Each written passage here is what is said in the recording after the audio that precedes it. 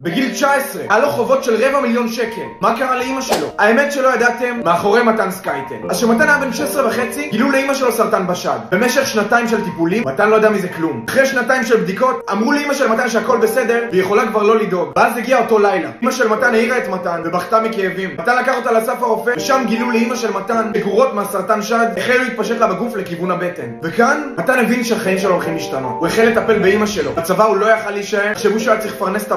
באיזשהו שלב, בגלל שהוא היה צריך לעזור לאימא שלו, משתי העבודות שהוא עבד בהן, הוא פרש. מפה לשם המצב הידרדר, מתן בקושי ישן בלילה, הגורות התפשטו בכל הגוף, זה הגיע כבר למוח. ב-1 לדצמבר 2021, אימא של מתן נפטרה. ואז הגיעו חדשות רעות. מתן קיבל מכתבים, ואם מתן רוצה להישאר בבית, הוא צריך לשלם חובות בסך רבע מיליון שקל. ילד בן 19 לבד בעולם. הבית הזה, זה כל הזיכרונות מאימא שלו, כל הרגעים עם אימא שלו. הוא לא התכוון לעבור לשום מקום אחר, הוא התחיל לעבוד בשתי עבודות, וברוך השם, הצליח להחזיר סכום נכבד מהחובות.